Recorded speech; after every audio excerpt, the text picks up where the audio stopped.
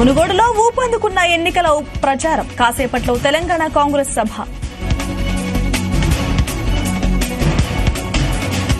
రెండోసారి డీఎంకే అధినేతగా స్టాలిన్ ఏకగ్రీవంగా ఎన్నుకున్న పార్టీ జనరల్ కౌన్సిల్. బీజేపీ పాలిత రాష్ట్రాల్లో కనీస గౌరవం లేదు. అసదుద్దీన్ ఓవైసీ సంచలన వ్యాఖ్యలు. బంగాళాఖాతంలో కొనసాగుతున్న ఉపరితల ఆవర్తనం. తెలుగు రాష్ట్రాలకు మరోమారు వర్ష సూచన.